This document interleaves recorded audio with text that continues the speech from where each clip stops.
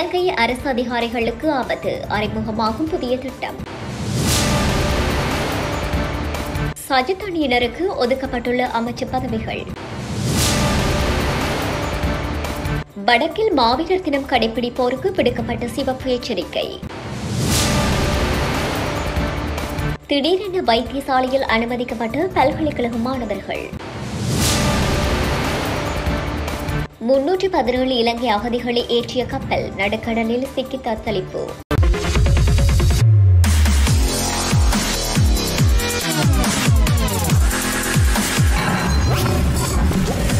இலங்கையில் இருக்கும் அரசு ஊழியர்கள் குறித்து புதிய அறிவிப்பொன்று வெளியாகியுள்ளது. இதன்படி அரசு அதிகாரிகள் மீதான லஞ்சம் மற்றும் ஊழல் தொடர்பான குற்றச்சாட்டுகளை தெரிவிக்க புதிய தொலைபேசி இலக்கம் ஒன்று அறிமுகப்படுத்தப்பட்டுள்ளது. உள்நாட்டு அலுவல்கள் வாகன சபைகள் மற்றும் உள்ளூராட்சி அமைச்சு இந்த அறிவிப்பை வெளியிட்டுள்ளது. அந்த வகையில் ஆயிரத்து தொள்ளாயிரத்து ஐந்து என்ற இலக்கம் புதிதாக அறிமுகப்படுத்தப்பட்டுள்ளதுடன் இந்த இலக்கத்திற்கு அழைப்பதன் மூலம் அரசு அதிகாரிகள் மீதான லஞ்சம் மற்றும் ஊழல் தொடர்பான குற்றச்சாட்டுகளை முன்வைக்க முடியும் என்று அறிவிக்கப்பட்டுள்ளது. மாவட்ட செயலாளர் அலுவலகம் பிரதேச செயலாளர் அலுவலகம் கிராம நிர்வாக அலுவலகம் ஆகிய அலுவலகங்களில் கடமையாற்றும் அதிகாரிகளின் லஞ்சம் அல்லது ஏனைய முறைகேடுகள் தொடர்பான முறைப்பாடுகளை மேற்படி தொலைபேசி இலக்கத்திற்கு அறிவிக்க முடியும் என குறிப்பிடப்பட்டுள்ளது.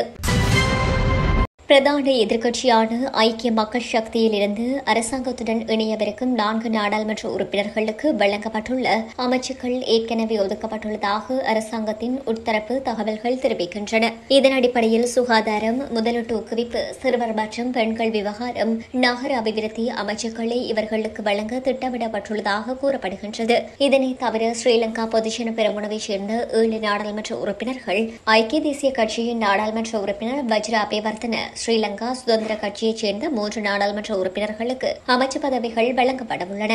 இருப்பினும் அமைச்சு பதவிகளை பெற்றுக் கொடுப்பது தொடர்பில் இறுதி முடிவு ஜனாதிபதி ரணில் விக்ரமசிங்க தனது எகிப்து பயணத்தை முடித்துக் கொண்டு நாடு திரும்பியதன் பின்னர் எடுக்கப்படும் என தகவல்கள் கூறப்படுகின்றன. ஐக்கிய மக்கள் சக்தியின் நாடாளுமன்ற உறுப்பினர்களுக்கு வழங்கப்பட உள்ளதாக கூறப்படும் சுகாதார அமைச்சு மற்றும் நகர அபிவிருத்தி அமைச்சு பதவிகளை தற்போது கிஹலிய ரம்பக்வெல்ல மற்றும் பிரசன்ன ரணதுங்க ஆகியோர் வகித்து வருகின்றனர் என்பதும் குறிப்பிடத்தக்கது.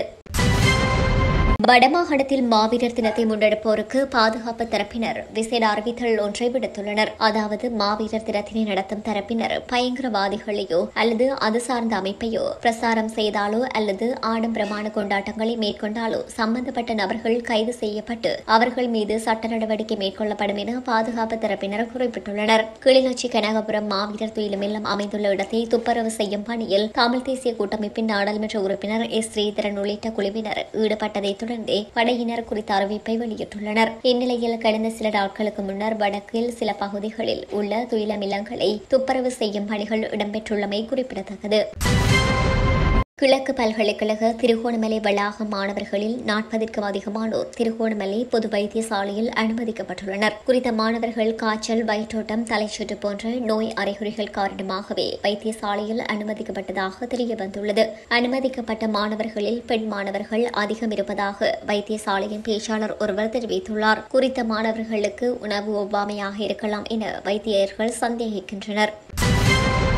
இலங்கையிலிருந்து சென்றதாக கூறப்படும் முன்னூற்று பதினேழு அகதிகளை ஏற்றிய கப்பல் ஒன்று பிலிப்பைன்ஸ் கடல் பகுதியில் பழுதடைந்த நிலையில் நடுக்கடலில் தத்தளிப்பதாக தெரிய வந்துள்ளது குறித்த கப்பலில் குழந்தைகள் பெண்கள் முதியவர்கள் உள்ளிட்ட முன்னூற்று பதினேழு பேர் உள்ளடக்கப்படுவதாக கூறப்படுகின்றது. கப்பல் தொடர்ந்து பயணிக்க முடியாத நிலையில் பழுதடைந்ததால் கப்பலை செலுத்திய கப்பல் ஓட்டி தப்பிச் சென்றுள்ளதாக தெரிவிக்கப்படுகின்றது. இதேவேளை கப்பலை மீட்கும் பணியில் புலம்பெயர் சமூகத்தில் உள்ள சிலர் முயற்சிகளை மேற்கொண்டு வருகின்றனர். தற்போது பிலிப்பைன்ஸ் நாட்டு கடல் படையினருக்கு தகவல் வழங்கப்பட்டுள்ளதாக கனடாவில் உள்ள மனித உரிமை செயற்பாட்டாளர் ஒருவர் தெரிவித்தார்.